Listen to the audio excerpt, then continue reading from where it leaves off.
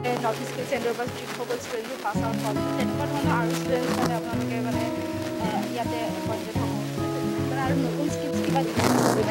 এতিয়া আমি চাৰিটা ডিচিপ্লিনৰ মানে এডুকেশ্যন ইয়াত হৈ আছে কৰ্চ হৈ আছে আৰু চাৰিওটাই হস্পিটেলিটি চেক্টৰৰ যথেষ্ট স্ক'প থকা আৰু যোৱা সময়ত যিহেতু ইয়াৰ employment স্ক'পটো ninety five percent above ninety five percent গতিকে এইটো এটা অত্যন্ত সম্ভাৱনাপূৰ্ণ ক্ষেত্ৰ। আৰু আমি ইয়াত নৰ্থ ইষ্ট স্কিল চেণ্টাৰ ক'ব গ'লে one of the state of the art institute গতিকে ইয়ে আমাৰ নতুন প্ৰজন্মক যথেষ্ট সুবিধা আগতেও দিছে আৰু এতিয়াও দিব। আৰু নতুনকৈ যিখিনি ল'ৰা ছোৱালী আহিব এতিয়া আমাৰ ষ্টুডেণ্ট কেপাচিটি পাৰ ডিচিপ্লিন আমি ফ'ৰ হাণ্ড্ৰেডকৈ ষ্টুডেণ্ট ফ'ৰ হাণ্ড্ৰেড ষ্টুডেণ্টক আমি ইয়াত কৰ্চ কৰাব পাৰোঁ। তাৰ কাৰণে হয়তো আমাক কিছু ইনফ্ৰাষ্ট্ৰাকচাৰ আমাক লাগিব। ইয়াত হোষ্টেল বা অন্যান্য গাৰ্লছ হোষ্টেল অন্যান্য সা সুবিধা আমাক লাগিব। সেইবিলাকৰো আমি পৰিকল্পনা কৰি আছোঁ কিমান বেছিক আমি ইয়াত সুবিধা দিব পাৰোঁ।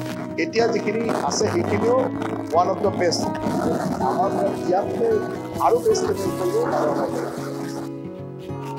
এই ইণ্ডি গ্ল'বেল ছামিট বুলি আপোনালোকৰ আণ্ডাৰত এটা প্ৰগ্ৰেম হ'ব চাগে আই আই টি তো তাৰে মানে কিবা বিষয়ে ক'ব নেকি?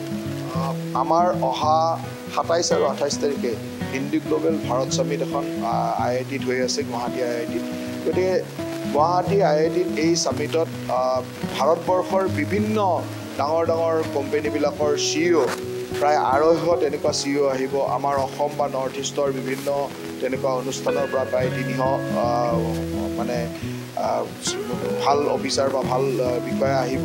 আৰু দুদিন যদি এই কাৰ্যসূচী চলিব ইণ্ডি গ্ল'বেল ছামিটখন এই ছামিটৰ জৰিয়তে আমি ভৱিষ্যতৰ দিনৰ স্কিলৰ সুবিধা আৰু স্কিলৰ জৰিয়তে আমি কেনেকৈ এমপ্লয়মেণ্ট দিব পাৰোঁ নতুন ষ্টাৰ্টআপ কেনেকৈ কৰিব নতুন কথাবিলাক কেনেকৈ চিন্তা কৰিব পাৰোঁ এই কথাবিলাক তাত আলোচনা হ'ব। আৰু দুদিনৰ এই যি আলো- আলোচনা বা এই যি ছামিট এই ছামিটে অসমখনক এটা নতুন দিগদৰ্শন দিব বুলি মোৰ বিশ্বাস।